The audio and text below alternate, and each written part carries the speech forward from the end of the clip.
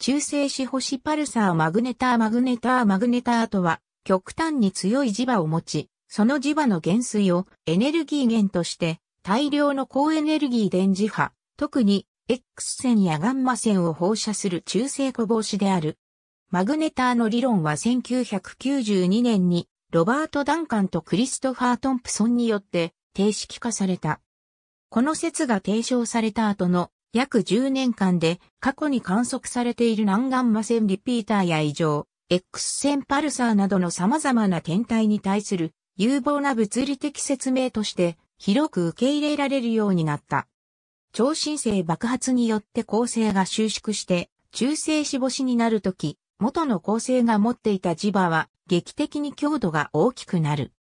ダンカンとトンプソンは中性子星の磁場は通常でも 108t という強大なものだが、特定の条件ではさらに強い 1011t 以上になり得ることを計算で明らかにした。このような極端に磁場の強い中性子星をマグネターと呼ぶ。超新星爆発を起こした恒星の質量の約10%は爆発中に失われる。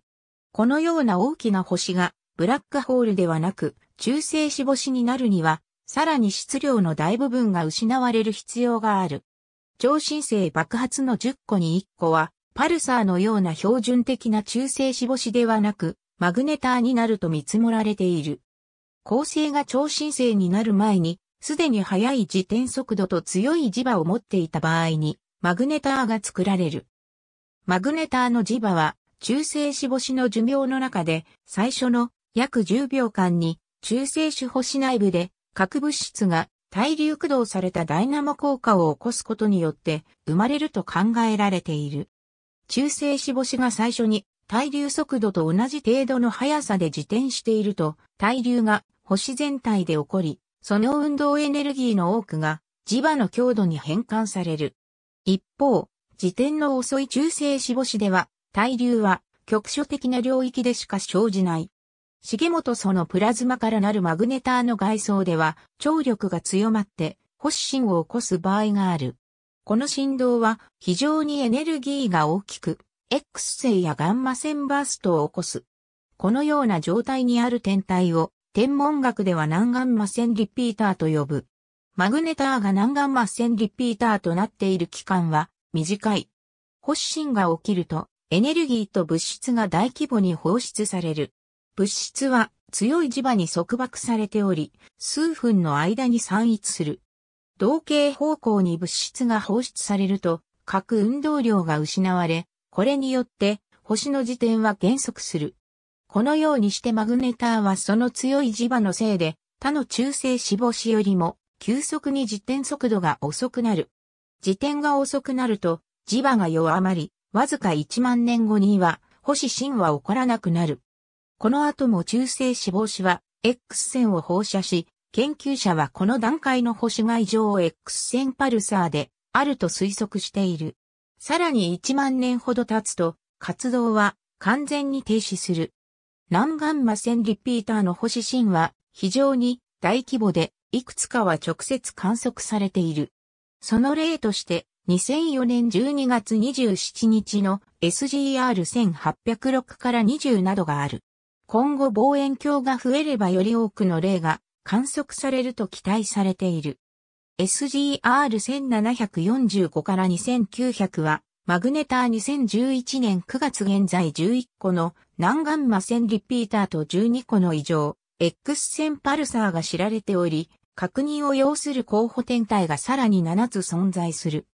マグネターが持つ 10GT 以上の磁場は、例えば地球から月までの半分の距離にあるクレジットカードの磁気記録を抹消できるほどの強さである。ネオジムを素材とした小さな気取類磁石の磁場は約 1t の程度である。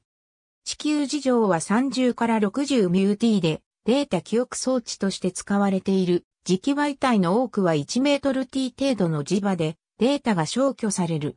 実験室で達成できる定常磁場は数十 t、パルス磁場でも数百 t 程度である。ちなみに 105t のオーダーで水素原子中の電子が磁場から受ける影響と核の電荷から受ける空論相互作用の影響が同じになる。これを超える磁場では、電子状態が全く変わってしまい、通常の科学は通用しない。マグネターの磁場は 1000km の距離でも致死的であり、水の反受性によって細胞組織が破壊される。ちなみに、この距離では同時に潮汐力も致死的である。AB シリーズ現代の天文学8ブラックホールと高エネルギー現象日本評論者大愛版大挨拶22ページ。ISBN 978から4から535607286。マグネター磁石星の脅威。日経サイエンス。Https コロンスラッシュスラッシュ nykkeibok.com スラッシュサイエンススラッシュページスラッシュマガジンスラッシュ0305スラッシュマグネット .html2014 年5月17日閲覧。例えば1.4太陽質量のマグネターから 1000km の距離にいる平均的な体格の人間を仮定すると、彼に働く潮汐力は 20kN を超え体はバラバラに引き裂かれてしまうことになる。ありがとうございます。